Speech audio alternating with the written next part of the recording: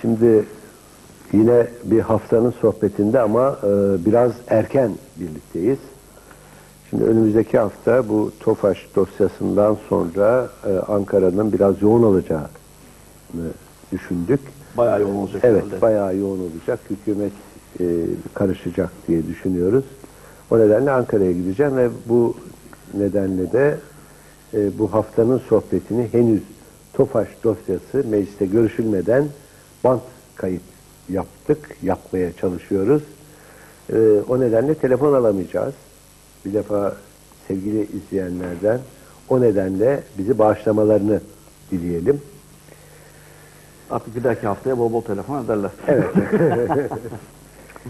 Ankara'da tabii bir Nait Bey'in eksikliği hissedilmesin yani. Çocuklar soracaklar bu gürültü patlağı Nait Evet. nerede diye. Onun için Yani gitmende şimdi, yarar var. e, E, meclis koridorlarında bir havası Aa, var bildiğiniz tabii, gibi tabii. değil. Eskiden oradaydın değil mi sen eski gazeteciliğinde? Ben aşağı yukarı 20 yılın üzerinde, 20 yılın üzerinde Ankara'da çalıştım. Vay, onun için biz Ankara'nın aleyhine konuşurken hemen tüylerin diken diken oluyor. Yani işte 19, tam 11 yıldır da e, Ankara'dan uzakta ama Ankara'nın içindeyim. Vay canına. Gene için yani kalbin Ankara için çarpıyor. Yani Ankara, Ankara farklı. İyi yani. canım olacak. Farklı. Yani Siz şimdi burada para konuşuyorsunuz, biz orada siyaset O konuşuyoruz. Aradaki tabii. o. Yani ben iyi ki daha önce İstanbul'a gelmedim. Yoksa siz siyaset ben para konuşuyorum. Valla ben Ankara'da siyasal bilgilere gittim. Sadece imtihanlara girip hemen İstanbul'a kaçıyordum. Bu da- Her neyse. ne kadar vereyim? Yani o işte sen dün şey yaptın. Şimdi O e, sizin bahsettiğiniz hani kapatacağınız binalar var ya yani Evet. Mektebi Mülkiye'den başlayıp Yargıtay'ıydı ondan sonra Yargıtay, yok, Yargıtay pardon yok, pardon Devlet planlama. DPT ondan- Teşvik uygulama, Evet, o bütün- büyük büyük binalar işte. Bir iki yani a- adalet, polis, ordu ve bazı mülki binaların dışında hepsi kapanacak. Ankara gazeteci daha kolay yaşayacak o zaman. Yani mesela zaten Müthiş mecliste kiralar falan çok olacak ucuzlayacak. yani. Bak şimdi İstanbul'dan şikayetçisiniz ya, yok emlak vergileri, bedava oturacaksınız. Bomboş binalar. e, o, o, o Bir zaman iş yapmak istiyorsan diyeceksin ki kira çok ucuz, dev gibi binalar bedava. Belki orada fabrika, tekstil fabrikası kuracaksın. Bir kısmında tavukçuluk yapabilirsin. Dev gibi binalar boşalacak. Ve orada mülk sorunu da kalmayacak. Gece kondular terk edilecek yani. işi yoksa adamın ne yapacak ki başka yere göç edecek. Yani Ankara düzelecek, adam olacak. Siyasalda ne olacak? Mesela tavukçuluk falan gibi. Siyasal bilgileri kapatacağız. O binaları başka bir e, aklı başında eğitim veren bir üniversiteye de verebiliriz. Çünkü biz özelleştirdiğimiz zaman adam gelecek. Diyecek ki benim bir okula ihtiyacım var. Bu binaları verir misiniz? Al kardeşim. peki şimdi Besim Bey ben özel teşebbüs sahibi olarak Evet. mektebi mülkiyeyi kursam ya da satın alsam Tabii veriyoruz hemen sana. Ya o zaman kapatmayacaksınız. Yani Canım me- mektebi mülkiye diye sana veririz. Devlet olarak senden mezun olanları işe alacağız diye bir şey yok ki. Hocam ya siz Biliyorsunuz şimdi bak. Ben Mektebi orada, Mülkiye nasıl e, kuruldu? Mektebi Mülkiye'yi galiba rahmetli Abdülmecit mi kurdu? E, ki Osmanlı zamanında. Osmanlı da Evet. zannediyorum Abdülmecit zamanında kuruldu. Mahmut zamanında kurulmadı. Yoksa Mahmut mu kurdu? Her neyse. Şimdi ve bu şeye katip yetiştirmek memur yetiştirmek için yani Enderun denen Evet. sistemin daha modern bir şeklinde kuruldu. Önce tabii çok büyük hizmetler yaptı.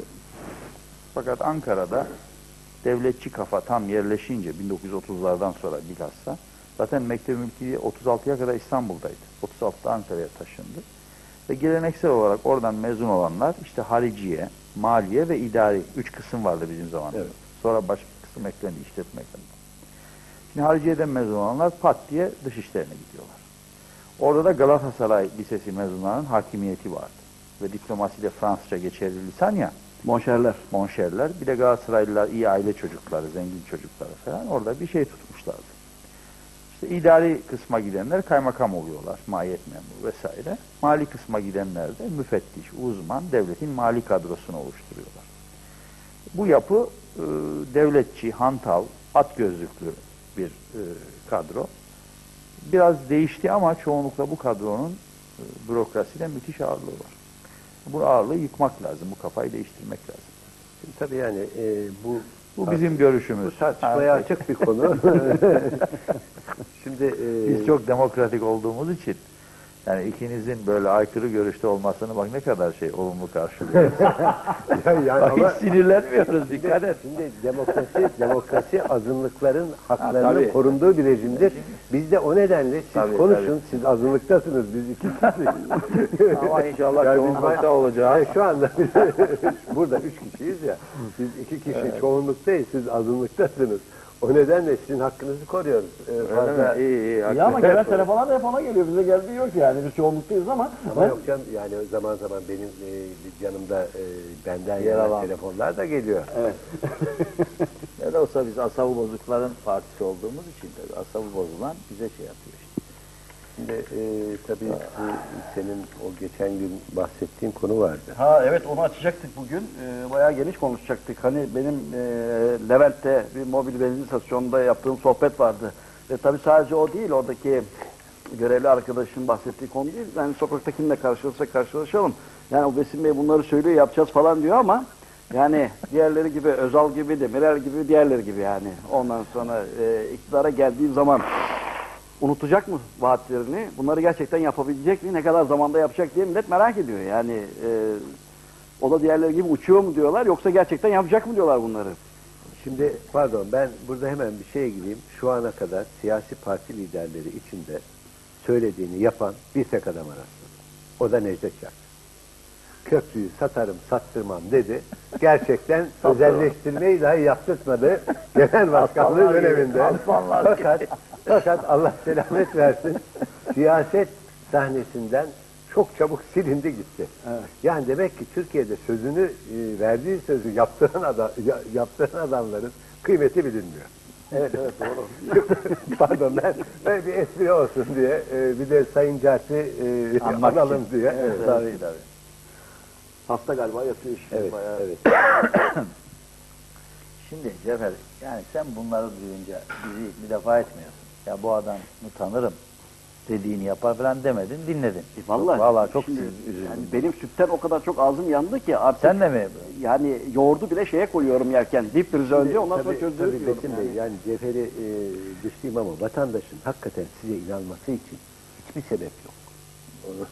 Çünkü ya bugüne kadar vaat edenleri hepsi yani şimdi ben size tasvip edeyim ya da etmeyeyim.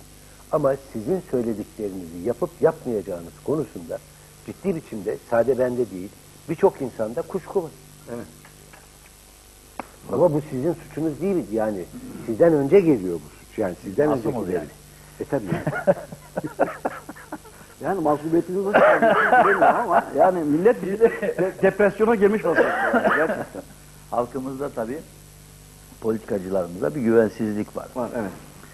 Bunun çeşitli sebepleri var. Bir, hakikaten söylenenlerin yerine getirilmemesi.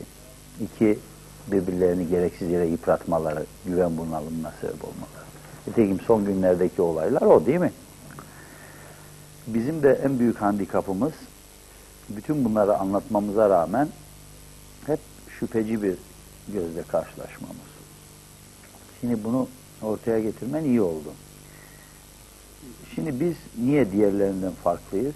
Niye söylediğimizi yapacağız? Bir, kuruluş ve yapı olarak diğerlerinden farklıyız. Şimdi diğer partilere bakın. Diğer partiler hasbel kader bürokrasiden gelen bölünme ve partiler. Yani çoğu da emekli memurdur. Bizim parti öyle değil. Bizim partidekilerin bir işi gücü var zaten hepsinin. Herhangi bir işe, mevkiye meraklı insanlar değil. Ama bakıyoruz biz memleket yanlış yolda gidiyor. Bu aynı yanlış rotada giden gemiye benzer. Şimdi gemiye rotayı yanlış verdiğin zaman içindeki kaptan iyi çalışmış, çarkçı iyi çalışmış, kabinler iyi temizlenmiş. Bunlar hikaye. Yanlış gidiyor gemi. Ne kadar giderse kötü. Dursa belki daha iyi, hiç gitmese daha iyi. Çünkü sen mesela diyorsun ki bu yükü bir gemiye veriyorsun. Bu yükü diyorsun Varna'ya götür diyorsun. Bulgaristan'ın Varna limanına gemiye kaptanı. Kaptan da tutuyor Çanakkale'ye doğru rota koymuş. Çanakkale ters. Şimdi Türkiye'nin durumu bize göre böyle. Şimdi bu rotanın yanlışlığını görüp de strese giren, asabı bozulan bir kesim olarak alın siz Liberal Demokrat Parti'yi. Şimdi biz tabii bu olay basit bir reaksiyon da değil. Çok büyük senelerin birikimi, 30 küsür senenin birikimi. Bizim politikaya atılmamız da Hasbel kader işte Demokrat Parti yeniden kuruldu. Belli arkadaşlar orada bir araya geldik. Bu fikirleri geliştirdik. Orada bile fikirlerimizi hakim kılamayınca dedik ki bağımsız bir parti kuralım. Ve böylece bu partiyi kurduk. Yani partimizin doğuşu da böyle. Yoksa biz mevki ve herhangi bir e, şey isteseydik, bir yer isteseydik, gerek ben, gerek arkadaşlarım çok daha önceleri belli partilerde, belli yerlere gelirdik. Peki, Demek ki burada bir soru motivasyonumuz istediklerimizi tavizsiz yapmak. Evet. Burada hemen bir soru soracağım. Asabı bozukların partisi, asabı bozulan insanların partisi. Yani ben asabı bozulan insanın doğru karar verebileceğine inanmıyorum. Yani siz asabı bozuklar bir araya gelip nasıl doğru karar vereceksiniz? Eyvah bir de bu çıktı vallahi ya. Bunu hiç düşünmemiştim. Ya Asabı herhalde bozuklar gündüz doğru karar asabı verir. bozuyor, gece oturup düşünüyor sakin kafayla nasıl halledeceğim. Şimdi asabı bozuk demek tepki gösteriyor yanlış gidişe ve işin ciğerini ve yanlışlığını biliyorsa. Şimdi biz tabii asabı bozuk demekle abuk subuk laf etmiyoruz ki. Doğru neyse onu söylüyoruz. Diyoruz ki bak şu bardak şuradan bıraktığın zaman düşer diyoruz. Veyahut da burada çok sigara içersen, kapıyı da açmazsan, havalandırma yoksa burası dumandan boğulur diyoruz. Bunlar gerçekler. Şimdi mesela biz e, hiçbir partide olmadığı gibi fikirlerimizi yazılı bir şekilde ortaya koyduk. Kuruluşumuzdaki programımız çok teferruatlıdır, kapsamlıdır. e, Sonra da kitaplar bu halinde. kadar çok kitabı da yok yani onu biliyorum. Ve dikkat edin, e, bakın e, size söylüyorum, o kitapların hepsini karıştırın. Hiçbirinde birbirini tekzip eder bir şey görmeyeceksiniz. Diğerleri öyle değil. Diğer partiler, daha evvel de söylemiştim, bir bir şeyler söylüyor. İlk söylediğiyle son söylediği birbirini çelişiyor. Bizde öyle değil. Bizde e, bir proje gibidir. Bir evin projesi gibidir. Yani diyoruz ki işte şu arazi şurada duruyor. Şu arazinin eğimi bu. Şu kadar harfiyat yapacağız. Bodrumu şöyle olacak. Girişi böyle. Bahçesi böyle. İçerisinde işte şöyle bir asansör koyacağız. Merdiveni böyle. Giriş katları, üst katları. Sıcak su mu, soğuk su mu, kalorifer, havalandırma hepsini proje gibi ortaya sunuyoruz. Ve diyoruz ki bu işten anlayanlara kardeşim bizim bir yanlışımız varsa söyle kardeşim neresi yanlış bunun? Harcayacağımız demirden, çimentodan hepsine kadar tam bir ev projesi gibi bu. Şimdi biz bu kadar iddialı söylüyoruz. İddiamızı da yazılı olarak ortaya koyuyoruz. Kitap evlerinde satıyoruz. İşte reklamını yapıyoruz ve herkese açtık bunu. Bu üniversite profesörü olabilir, bir iş adamı olur, bir politikacı olur. Şimdi bazıları şöyle diyorlar. E doğru söylüyorsunuz ama siz erken söylüyorsunuz. Bu lafı güzel yani. Biz erken falan söylemiyoruz. Bakın bizim hiç Yani yazılarımızda... belki geç bile söylüyor. Geç. Geç, bile kaldı. Yani Türkiye eğer söylediklerinizi doğru kabul ediyorlarsa bunu söyleyenler Tabii. E, şimdiye kadar- Ve şöyle çok ilginç. Mesela senin söylediğin doğru ama zamanı değil. Hoppala. neyin zamanı yani? Böyle böyle tepkiler Ay, böyle. Şey var, alışkanlık var ya, enflasyonu düşüreceğiz diyor mesela her önüne gelen. İnanamıyorlar. Ondan sonra peki nasıl düşüreceksin? E, gelelim bir düşüreceğiz falan. Ondan Ama şimdi- Hayır biz öyle Haklıyız. değil. Öyle- Gelelim değil. Ha. Ben söylersem benden kopya çeker. Aha bir de öyle var tabii evet. Yani, evet, tarafı var. Yani siz kalkıp bir de Şimdi- belge olarak ortaya... Şimdi size ilgili Allah selamet versin. Bülent Ecevit Bey'in bir televizyon programını söyleyeyim. Bir televizyon programında Bülent Bey oturmuşlar bir sene evvel veya bir buçuk sene evvel. Masa şeklinde oturmuşlar. Hatta bizim şey yapıyordu onu. Şimdi bu Finans ve Ekonomi dergisini çıkarıyor. Ee, Osman Aralat'la birlikte. Cevizoğlu değil. Yo yo yo şey e, Şeref e, Şeref, Ergenci, evet. Şeref Özgencil'in ha- ha- hazırladığı bir program. İşte bazı yazarlar, iş adamları, önemli adamlar masa masa oturuyorlar. Bülent Bey de ön masada. Ona sorular soruyorlar. O da anlatıyor. Tabi Allah selamet versin Bülent Ecevit Bey bir santim kıpırdamamış yerinden yani. Eski ne söylüyorsa aynı şeyler. Kendisine gösterilen ilgiyi de şey olarak yorumluyor. Artık diyor millet benim dediğime geldi.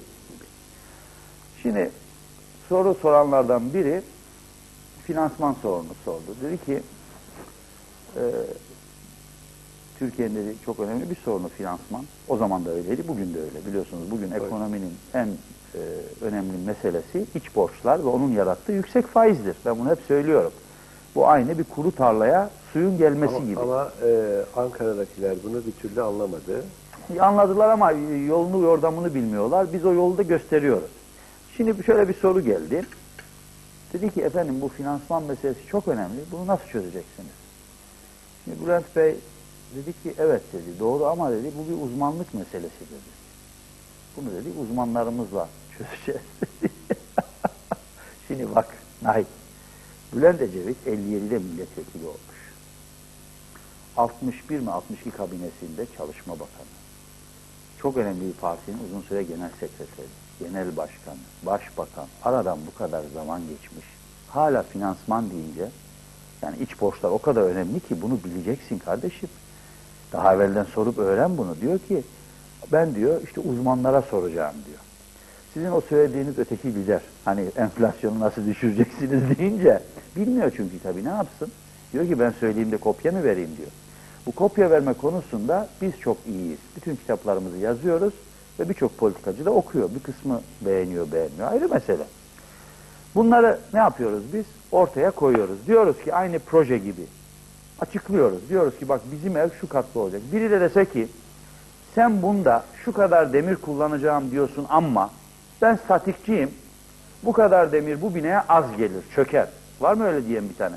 Hiç bir tane baba yiğit gördün mü? Liberal Parti'nin şu söylediği şey yanlıştır diye bile.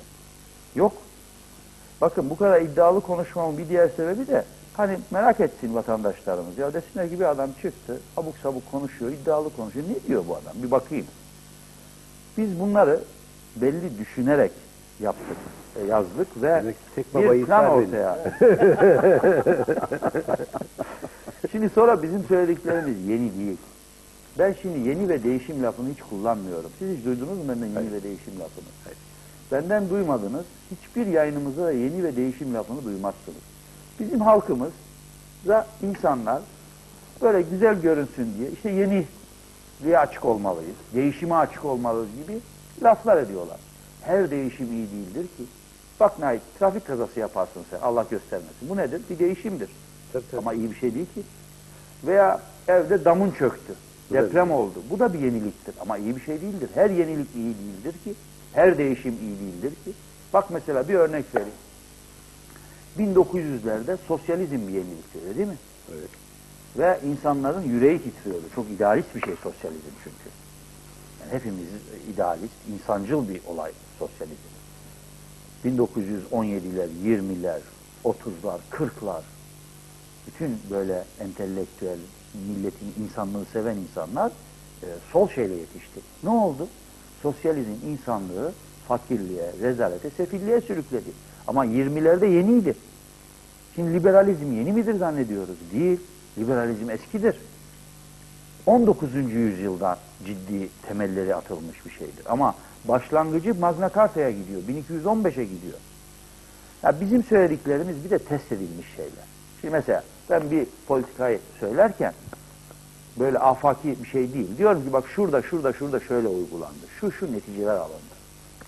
O bakımdan bir kere bizim önemli farklılığımız bu. Bunları yapacak mıyız meselesine gelince. Şimdi bunları yapmamamız için bir sebep olması lazım. Bunları yapmamamız için. Bunları niye yapacağız? Bir kere içimizde bir ihtiras var. Bak ben açık açık ihtiraslı olduğumu söylüyorum.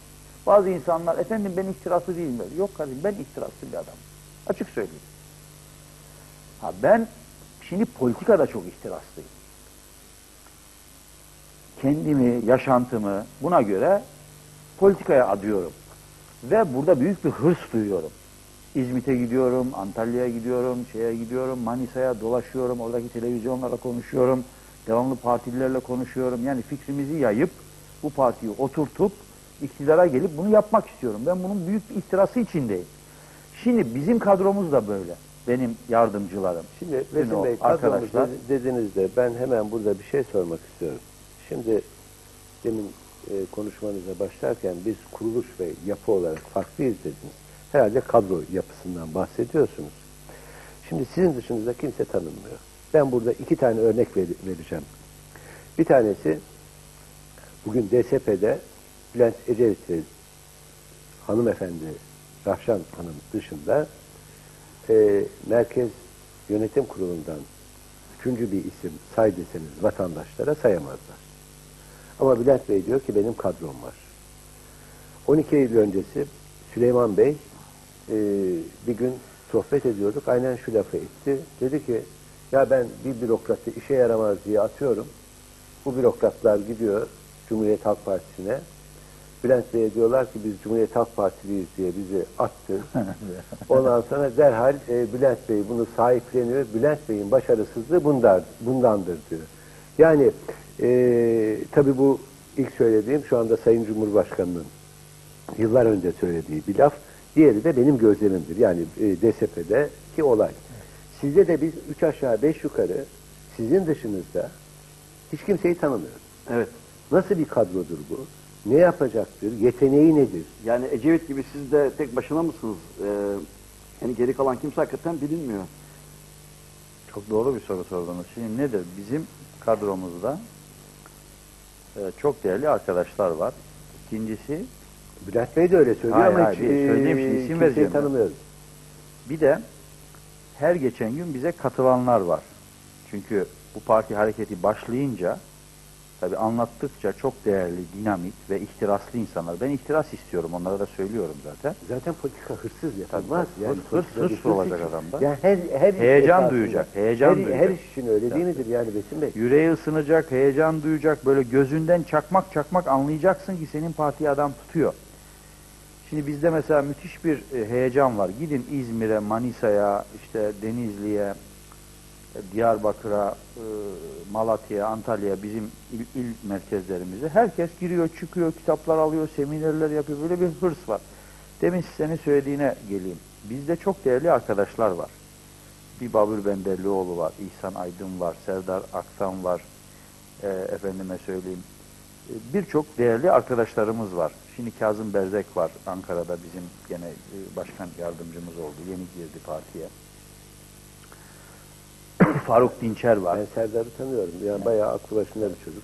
Şimdi benim bizim yardımcılarımız, ben tabii biraz iddialıca kusura bakmayın. Benim ya, e, bizim yardımcılarımız sizin o politik lider diye gördüğünüz büyük partilerin başkanlarının hepsinden daha yeteneklidirler. Yani ben biraz onlara fazla gelirim şimdiki liderlere. Gene bunu e, dinleyenler amma da atıyor adam ukala diye söylüyorlar ama zaman içinde bakarız. Yani e, hani saç düşünce ak mı kara mı belli olur. Şimdi ne oluyor peki? Söyleyeyim sana. Ee, şimdi bizde mesela bir Ahmet Esen Yolaç var. Bir Raif Terzi var. Bunlar dehşet adamlar. Tabii yani bunlar Bunlar çoğu- Raif Terzi. kamuoyu Mesela bir tanesini söyleyeyim. yani. Tanımıyor. Bir tanesi herhangi birini söyleyeyim sana. Bir Raif Terzi Yugoslav göçmenidir. Cız çıplak altı kardeşiyle Türkiye'ye gelmiş. Tamam? Yugoslav göçmeni. Bir sürü işe girip çıkmış. Bir sürü meşakkat çekmiş. Şimdi kendisi Tekirdağ'daki en büyük özel lisenin sahibidir. Önemli bir seyahat acentesi vardır. Bilmem ne. Pişmiş bir adam. Bana böyle adam lazım. Ve Liberal Parti deyince yüreği titriyor. Bir başka Mahmut Bey var. O da bir başka göçmen. Yırtarak gelmiş. 50-55 yaşlarında. Bunların bir kısmı bizim fikriyatı duyduktan sonra bize gelen adamlar. Bir kısmı Demokrat Parti zamanından beri bizimle birlikte olanlar. Bir Babür Benderlioğlu. Müthiş birikimi olan bir insan. Avustralya'ya gitmiş, burada iş kurmuş, bürokraside bulunmuş, gazetecilikte bulunmuş. Bunlar hayattan gelmiş adamlar. Ve bunlara bizim politikayı anlatırken gözleri haklısın diyor. Ankara'daki bürokratik kafadan başka bir hayat tarzı olmayan adama bunu anlatınca çok böyle zorlanıyor, anlayamıyor. Anlayamıyor insanlar. Şimdi bizim yardımcılarımız çok değerli insanlar fakat vitrinde değiller. Sebebi gayet basit. Biz ufak bir partiyiz. Yani biz şimdi ufak parti olduğumuz için bu arkadaşlarımız arada bir yazılı demeç veriyorlar. Mesela basın toplantısı yapıyorlar. Hiçbir gazetede görüyor musun? Hiçbir televizyonda göremezsin. Neden? Gazeteci, televizyoncu doğal olarak şöyle düşünüyor. Ya diyor bu ufacık bir parti. Ben bunun haberini versem kim okuyacak? Şimdi gazeteci de tabii bir rekabet içinde en iyi haberleri vermek istiyor. Şimdi Şimdi haber dediniz de haber saatimiz gelmiş. Haberleri izleyelim. Ondan sonra e, gazetecilerin haber e, olayına devam edelim.